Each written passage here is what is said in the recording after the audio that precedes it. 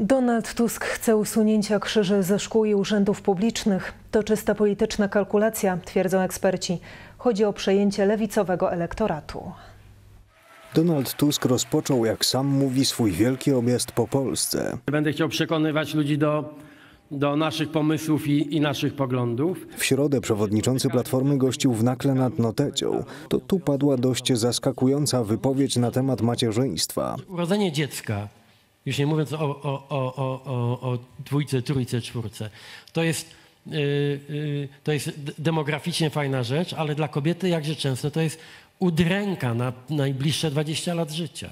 Ta wypowiedź, jak podkreśla europoseł Prawa i Sprawiedliwości Joachim Brudziński, wpisuje się w szerszy kontekst ideologicznej ofensywy skierowanej przeciwko rodzinie. Jego, jego ataki na, na macierzyństwo to jest nic innego jak ten przejaw tej, tej, tej oszalałej ideologii, którą dzisiaj próbuje się e, wciskać nie tylko Polakom, ale, ale Europejczykom, czyli odrzucania, odrzucania e, rodziny rozumianej jako związek mężczyzny e, i kobiety. To dzisiaj są takie pomysły. Dzisiaj próbuje się karać Węgrów za to, że wpisali do konstytucji, że kobieta jest matką, a e, ojciec jest mężczyzną. No, jak rozumiem, dla Tuska to też jest drażniące. Donald Tusk zaatakował także Kościół, zarzucając mu upolitycznienie. Musimy też podjąć pewne decyzje. Znaczy, musimy skończyć z tym przenikaniem się władzy państwowej i kościelnej, z finansowaniem y, y, z budżetu państwa. Czas najwyższy, aby wierni wzięli na siebie odpowiedzialność za Kościół.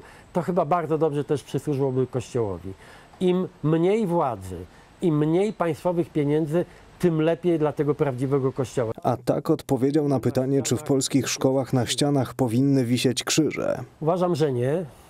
Y, Bardzo chciałbym, żeby tym miejscem, gdzie y, wszyscy ci, którzy wierzą, mogli się spotkać y, y, jakby w spokoju, wzajemnym zaufaniu, y, y, pomodlić się, żeby to były kościoły, a nie urzędy publiczne czy szkoły. Miejsca y, publiczne, czy to jest Sejm, czy to jest szkoła, powinny być wolne od y, y, symboliki religijnej. Na wypowiedź przewodniczącego Platformy o usunięciu krzyży ze szkół zareagował na Twitterze minister edukacji i nauki profesor Przemysław Czarnek. Na szczęście w Polsce mamy wolność religijną i to rodzice wraz z dyrekcją decydują, czy w szkole są i jakie są symbole religijne.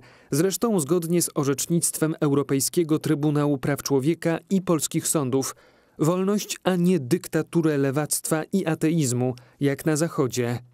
Trudno racjonalnie wytłumaczyć wypowiedź Donalda Tuska, wskazuje europoseł Joachim Brudziński. Jest w nim tyle jakiejś irracjonalnej, niewytłumaczalnej niechęci, agresji wobec tego, co dla Polaków najświętsze, bo no, za poetą można powtórzyć, że tylko pod tym krzyżem, tylko pod tym znakiem Polska jest Polską, a Polak Polakiem. Chyba, że stoi za tym czysta polityczna kalkulacja. Wydaje się to y, wyraźnym dryfem w stronę y, lewicy, to co mówi przewodniczący Tusk, ponieważ y, chodzi o to, aby w tej chwili jak najbardziej osłabić rząd Zjednoczonej Prawicy, a kluczem do tego jest no, po prostu koalicja wszy, wszys- wszystkich ug- ugrupowań, od ekstremalnej y, prawej strony do y, ekstremalnej lewej strony. Mówił socjolog dr Jakub Koper. Co więcej, Donald Tusk nie przedstawił jeszcze żadnych konkretów programowych. Platforma świeci odbitym światłem. Ona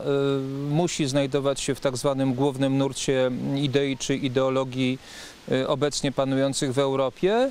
Chyba jedynym lekarstwem czy panaceum na bolączki Platformy jest to, że ten główny nurt wreszcie się w Europie zmieni i wtedy będą mówili tak jak y, dotychczas y, wszyscy powiedzmy sobie normalni ludzie w Europie. Podkreśla politolog dr Mirosław Boruta-Krakowski. Powrót Donalda Tuska do polskiej polityki negatywnie oceniają Polacy.